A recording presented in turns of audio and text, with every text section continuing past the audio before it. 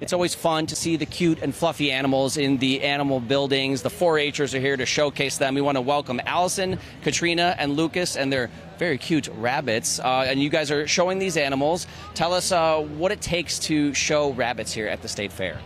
So it's definitely a lot of work.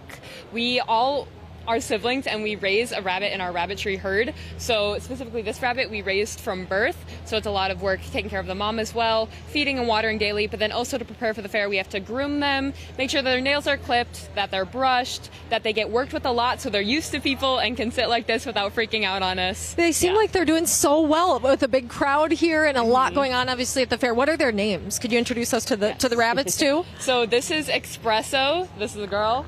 This is Superman. He's a boy. And then down on the end there, that is Nitro, and he's also a boy. And so you guys show tomorrow morning at what is it, 8, 8.30? a.m.. Bright and early. How are you feeling about your chances here?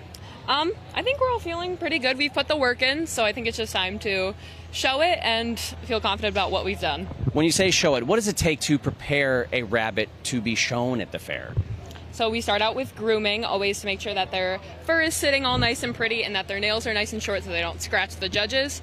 And then a lot of working with them. To show a rabbit, you have to pose them, so set them up in a specific way for their breed so that they show off their best attributes. And you have to be sure to flip them as well so you can see the undersides of the animal, make sure they're healthy. Some breeds have markings or coloration underneath the animal, so you have to make sure that that can be on display well. Um, just really getting the animals used to being handled by other people, being handled for long periods of time, and being able to show off their best attributes. For anyone at home who's like, they're so cute, I'd like a pet rabbit. What should people know about caring for these animals?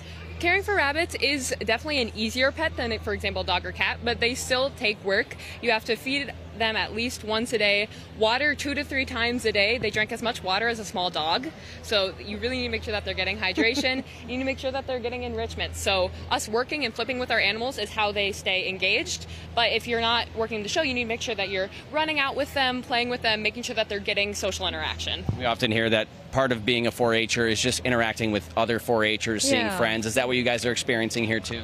Yeah, State Fair is like a big sleepover for all of us.